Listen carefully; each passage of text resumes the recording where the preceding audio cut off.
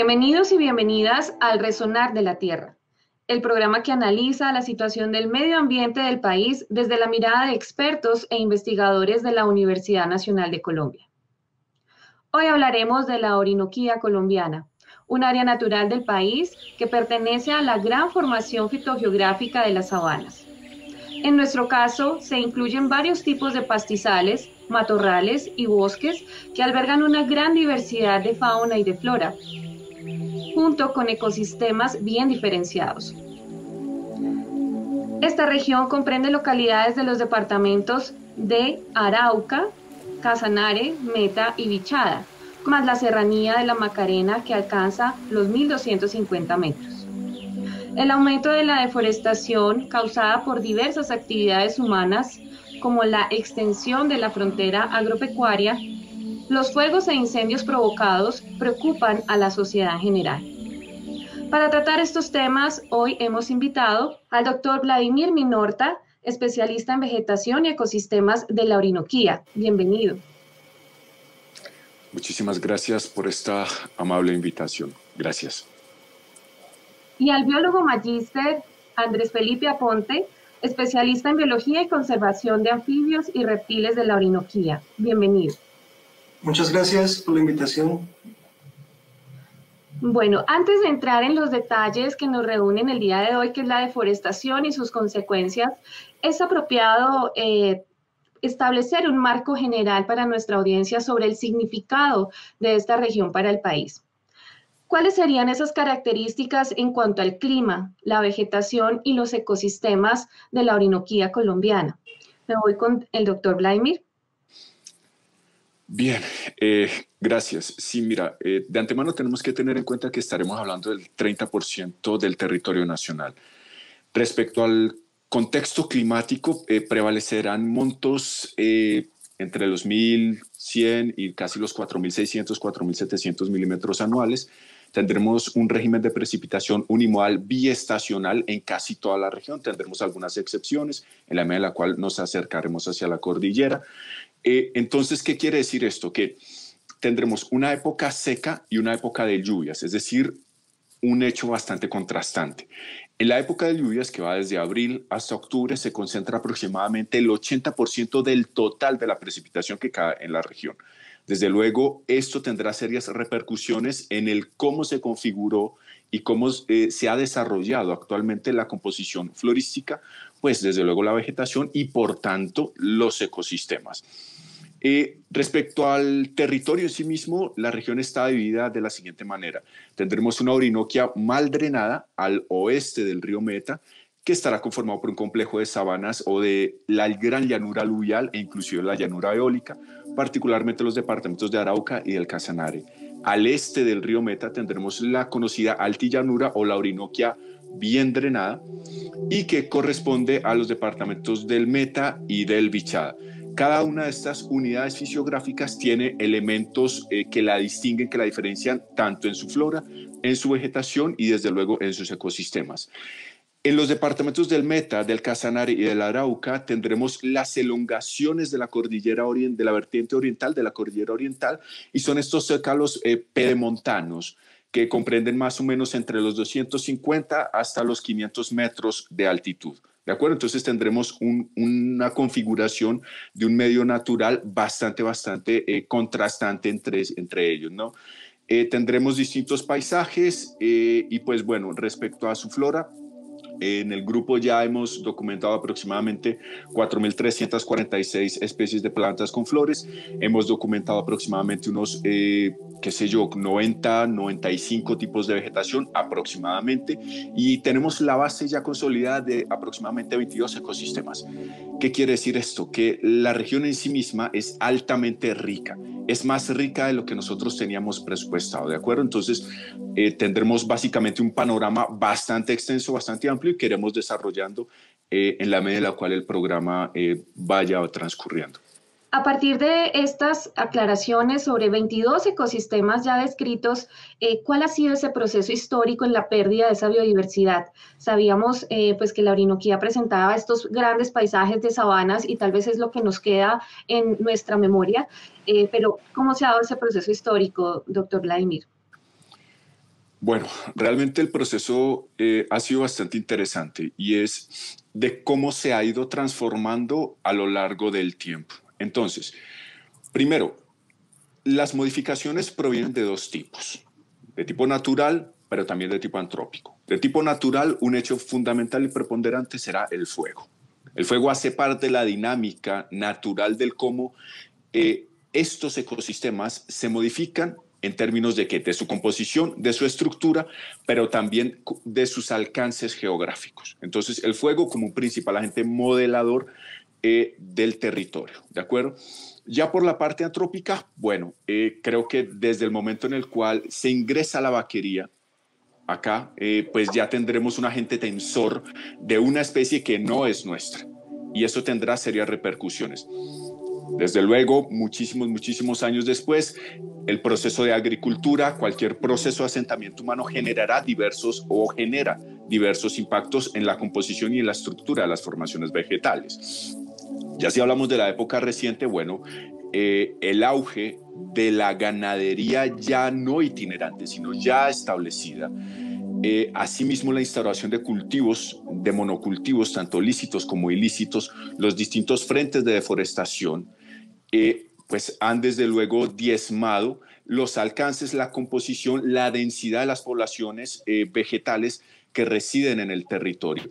Entonces tendremos casi que un crisol de elementos que han alterado la composición de estos, de estos ecosistemas, eh, inclusive si nos remitimos estrictamente a las formaciones vegetales, los pastizales han sufrido serias transformaciones producto de la expansión de la ganadería ya hacia lo extensivo, del eh, el auge, como dije anteriormente, de los cultivos y ya hacia la parte boscosa, la pérdida y el descapote de la cobertura vegetal por propósitos de tala, pero también por la transformación del hábitat para la inserción de otro tipo de elementos.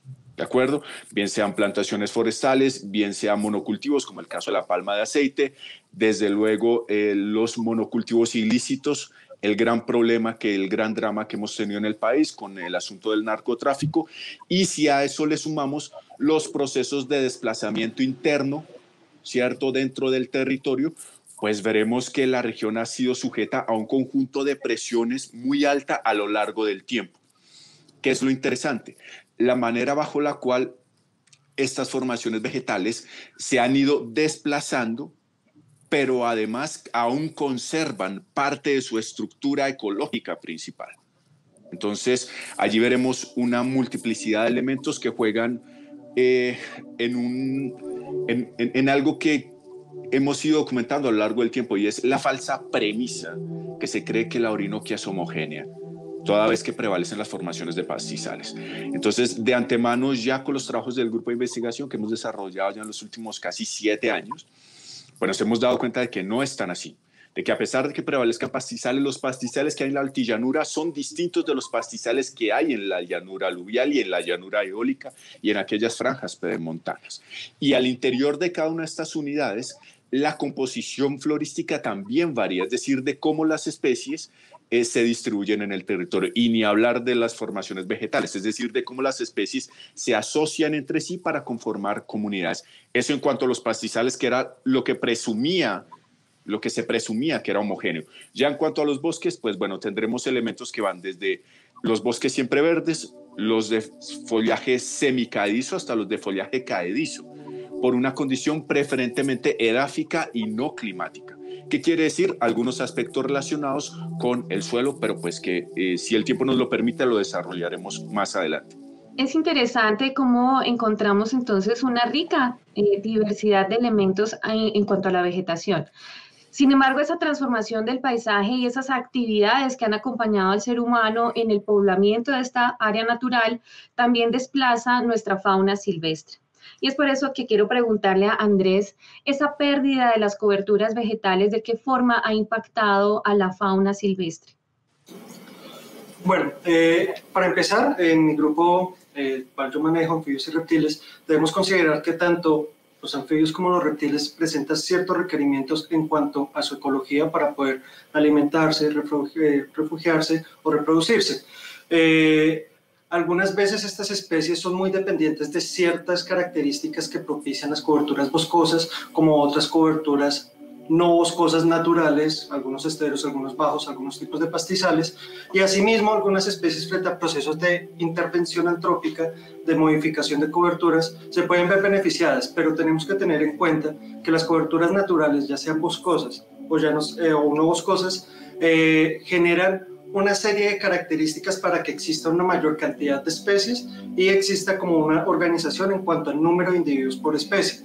Estas características no las propician los agroecosistemas eh, debido a que generan como recursos en el hábitat muy homogéneos, los cuales pueden explotar de una muy buena manera. Algunas especies con muy pocos individuos, algunas especies con muchos individuos, generando lo que llamamos una superpoblación o una expansión no natural de anfibios en zonas eh, antropizadas. ¿Cuál sería esa situación actual en cuanto a las amenazas, los riesgos de extinción y la disminución de ese hábitat natural para estos grupos? Vale. Eh, estas amenazas son latentes, a pesar de que existen muchos estudios en la Orinoquía, todavía hace falta mucho en cuanto a aspectos ecológicos y funcionales de anfibios y reptiles para poder determinar puntualmente dichas amenazas. Existen algunos estudios de caso donde podemos demostrar que hay especies de ranas, hay especies de lagartos, de serpientes, que son muy dependientes de ciertas características en el ambiente, las cuales les permiten sobrevivir o las cuales les permiten reproducirse. Si nosotros erradicamos o quitamos de una manera drástica esta disponibilidad de recursos, vamos a ir mitigando estas poblaciones poco a poco a llegar a un punto de generar una extensión local o haciendo que estas especies se trasladen de un lugar a otro. Podemos generar problemas como transmisión de algunas enfermedades, podemos generar algunos problemas relacionados con eh, problemas genéticos con afectaciones genéticas debido a la disminución poblacional, a la no conectividad de los parches de bosque y adicionalmente hay otro problema que es con respecto a la seguridad térmica. La seguridad térmica se refiere a todas estas variables de temperatura ambiental sobre las cuales los anfibios y los reptiles se desarrollan como especie. Entonces tenemos que tener en cuenta que estos dos grupos son animales que dependen de la temperatura ambiental para poder llevar a cabo sus funciones fisiológicas, ecológicas, reproductivas. El hecho de generar procesos de transformación va a afectar las coberturas y al interior de estas coberturas puede generar cambios drásticos en cuanto a los ambientes térmicos que pueden afectar a las especies. Muy poco se ha datado, como insisto, en la Orinoquía y es un área que debemos explorar porque no, no conocemos cómo va a afectar todas las especies en conjunto. Es claro la necesidad de aumentar los estudios, de conocer lo que tenemos eh, de cierta medida para proteger lo que nos queda. Es por eso que voy a hablar de un tema tal vez un poco álgido sobre estos intereses de estas multinacionales o intereses privados en hacer esa transformación del paisaje. Eh, desde ese punto de vista, me gustaría preguntarle a nuestros invitados eh, cuál es su opinión acerca del avance o cuáles son esos puntos que se deberían considerar eh, para hacer esa intervención y bueno, cuál es nuestro panorama en este momento. Me voy con el doctor Vladimir. Bueno, realmente es una pregunta bastante amplia y puedo resumirla o tratar de responderla de la siguiente manera. Los procesos de extracción del capital natural hasta donde hemos documentado se circunscriben a la transformación del hábitat. Y eso tiene serias repercusiones porque diezman el tamaño poblacional, diezman los alcances geográficos, toda vez que eh, se pierde la composición original. ¿De acuerdo? Entonces, y eso tiene unas repercusiones eh, bastante, bastante fuertes. La transformación del hábitat ha implicado desde drenar zonas que están condicionadas a que estén con agua en, algún momento del año o inclusive inundar zonas que no están condicionadas para que tengan agua. Entonces, el cambio, la transformación del sustrato tendrá serias repercusiones en el tipo de vegetación que se establezca allí. Ahora bien, que se establezcan estos procesos con especies que no son nuestras o que no son de la región o que no dominan en la región, pues creo que es ya un proceso o una situación que hace que las alarmas se deban prender. Es fundamental que eh, hablemos también de la calificación de lo que será el riesgo al cual están expuestas las cosas. Y el riesgo proviene de qué? De una caracterización muy robusta de las amenazas y de la vulnerabilidad al cual están expuestas las distintas formaciones vegetales que arraigan en el territorio. Entonces, no podemos hacer una tabla rasa, ¿sí?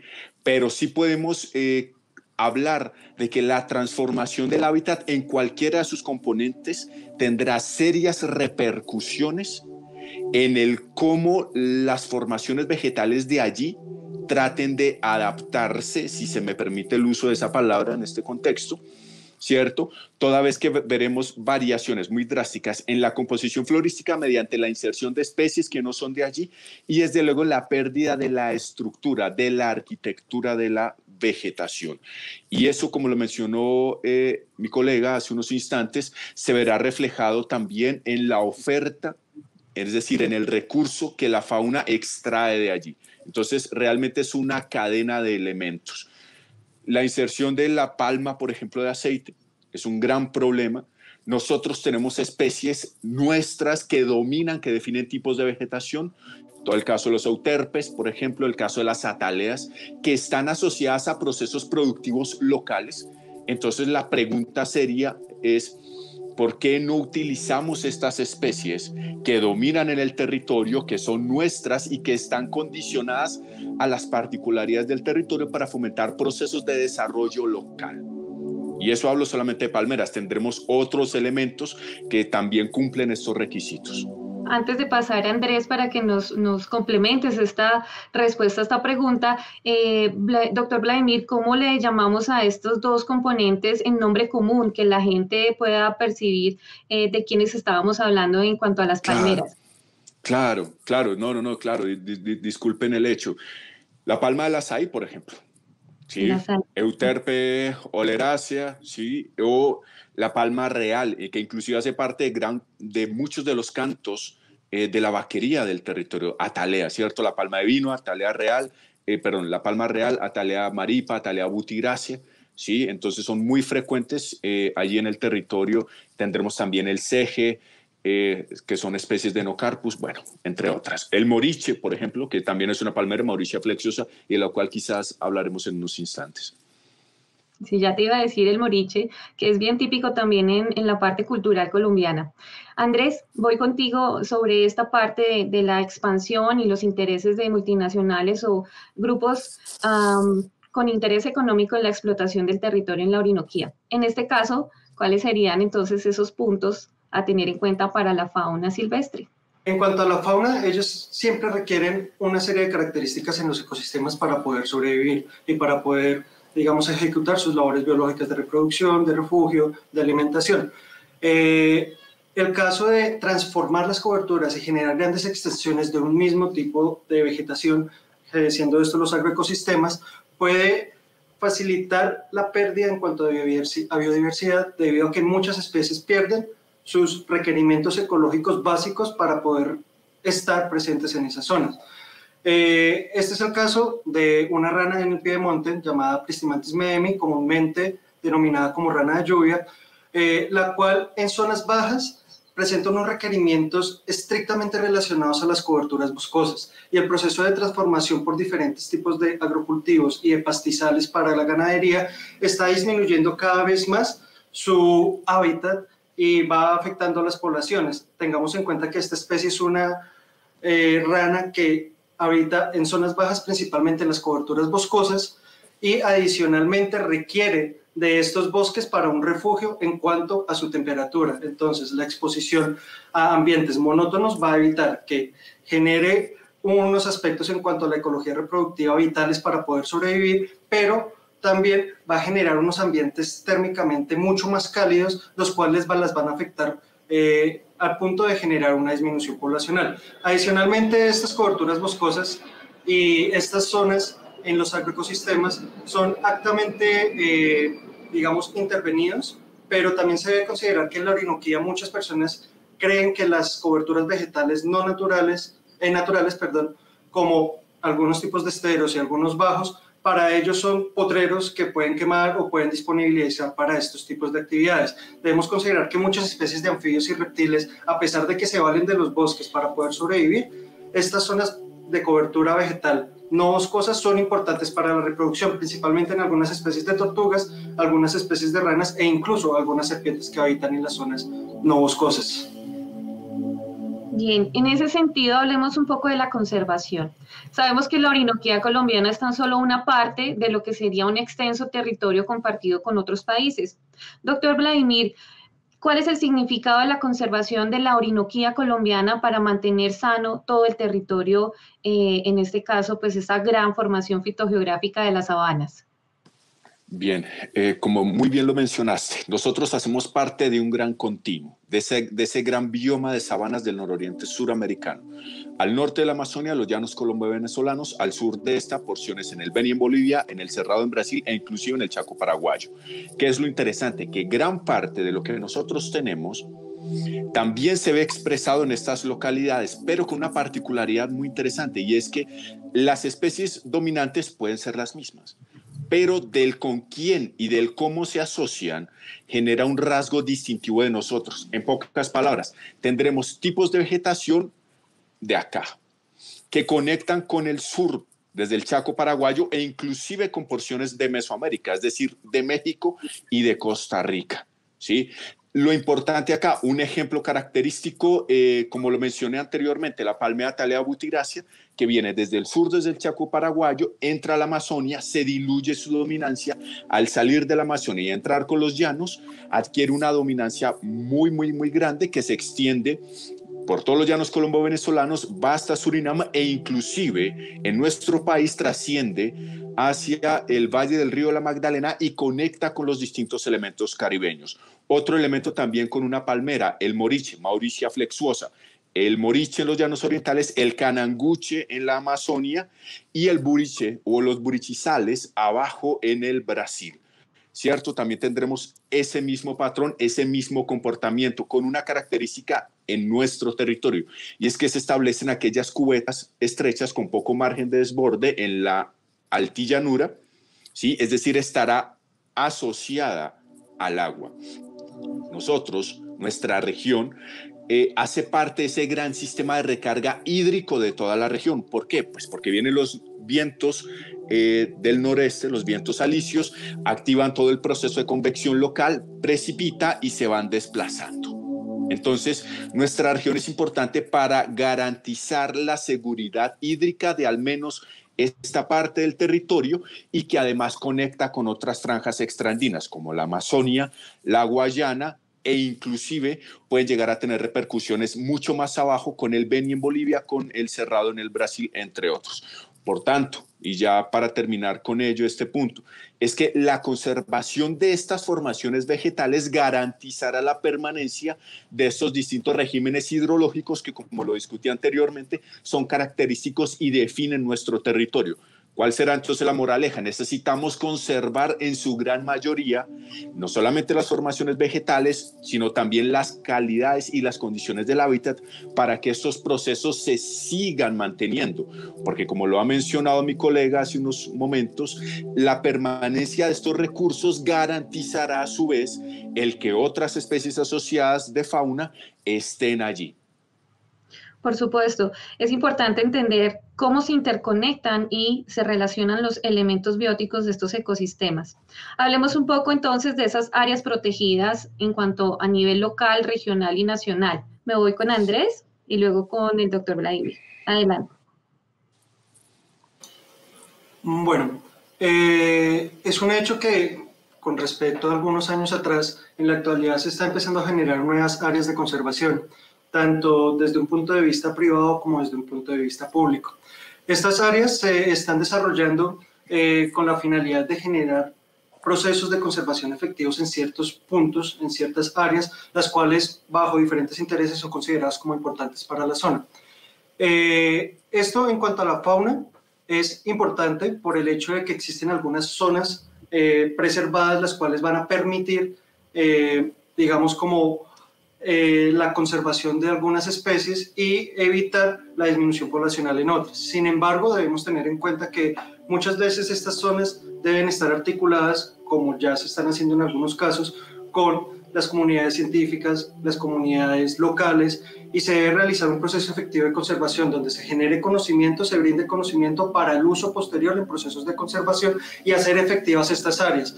Conozco, digamos, muchos estudios de caso en la Orinoquía, tanto en Casanare como en Meta, incluso en Arauca, donde actualmente se están llevando procesos de investigación en áreas de conservación con el fin de generar un conocimiento base para poder preservar las especies de fauna en la zona, esto siempre acompañado con la comunidad. ¿Por qué razón? Porque a pesar de que nosotros como científicos tenemos un deber de brindar este conocimiento, realmente el que genera la conservación es la persona, la comunidad, la empresa que está en esa zona a intervenir. Adelante, doctor Vladimir. Estoy completamente de acuerdo con lo que expuso mi, colega. La articulación entre la academia y entre la sociedad es fundamental. Claro, con el concurso también de que de entidades del sector público y del sector privado. ¿Por qué? Porque muchas de estas áreas eh, que son esfuerzos locales obedecen a procesos productivos también locales, derivados de qué? Del aprovechamiento de la oferta del capital natural, el aceite, copáifera, pubiflora, las palmeras que he mencionado a lo largo de la charla, entre otros elementos, constituyen taxones constituyen especies de los cuales se pueden obtener dividendos económicos que fomenten el desarrollo local con un manejo adecuado del recurso que tenemos. Entonces, estas figuras de reservas de la sociedad civil son muy interesantes para fortalecer estos procesos de conservación de estas áreas que salvaguardan la distintividad, pero también la conectividad biótica de los territorios.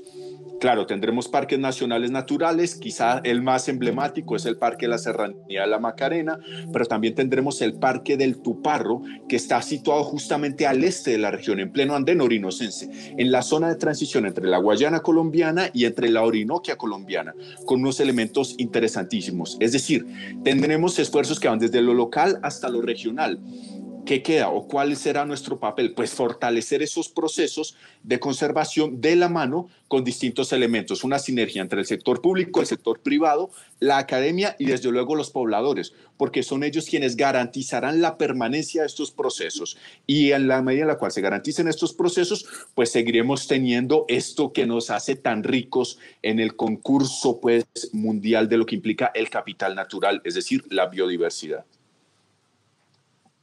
La biodiversidad sin duda es nuestro mejor capital si lo sabemos aprovechar y lo sabemos también conservar. Y por eso nos vamos a cierre. Se nos ha acabado el tiempo y quisiera eh, pedirles a nuestros invitados que nos dejen una reflexión acerca de esa conservación, de por qué es importante esta región y cuáles serían las primeras medidas a tomar eh, para seguirla conservando. Adelante, Andrés. Bueno, eh, para la Renoquía es muy importante tener en cuenta el funcionamiento en cuanto al componente biótico, entendido esto como fauna, flora, los microorganismos con su componente abiótico.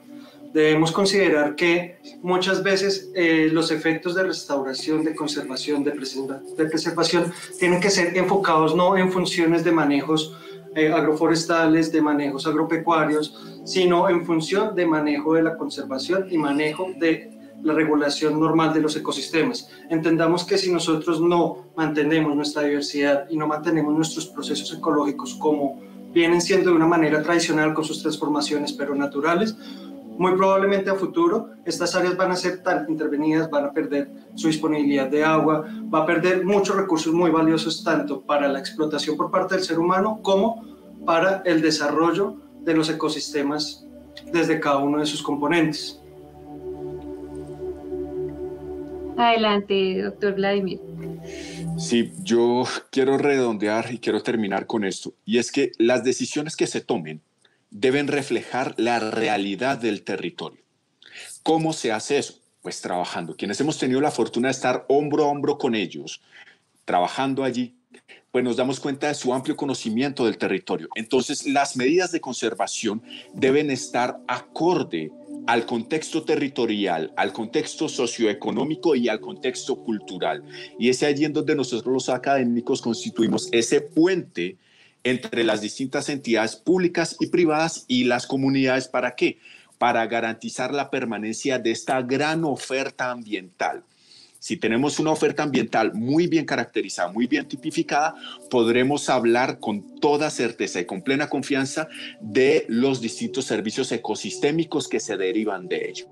Y eso creo que es el eje fundamental, es el eje esencial de a partir del verdadero desarrollo de lo que implicará ser el país más rico del globo como lo somos nosotros. Así es. Bueno, quiero agradecerle a nuestros invitados por compartirnos todas sus experiencias, conocimientos basados en sus investigaciones de campo, eh, como bien lo menciona el doctor Vladimir. Entonces, pues nada, muchísimas gracias por acompañarnos. Muchas gracias a ustedes por la invitación. Muchísimas gracias a ustedes y pues bueno, esperamos seguir discutiendo todos estos elementos en todos estos espacios de amplio interés y de amplia divulgación. Muchísimas gracias nuevamente. Bueno, por supuesto, a nuestra audiencia, muchísimas gracias por seguirnos. Estamos aquí en contacto con ustedes para desarrollar estos temas tan interesantes y bueno, nos vemos en una próxima edición. Hasta pronto.